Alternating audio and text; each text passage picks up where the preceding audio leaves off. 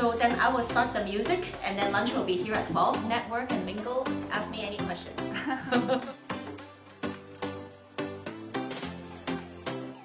and then today we also have Gary. Gary, Hello. Gary Chan from Bank of Montreal. So come here, take. Uh, we have a mortgage update, right? There's a stress test mortgage right now. So basically, it's actually helping a lot of like newcomers, new immigrants on helping they uh, buying their first home.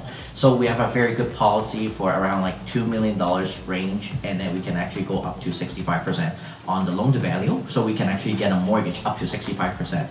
Let's say if you're actually buying this place, then we can actually assess this place and see if we can actually get the maximized mortgage amount for the client.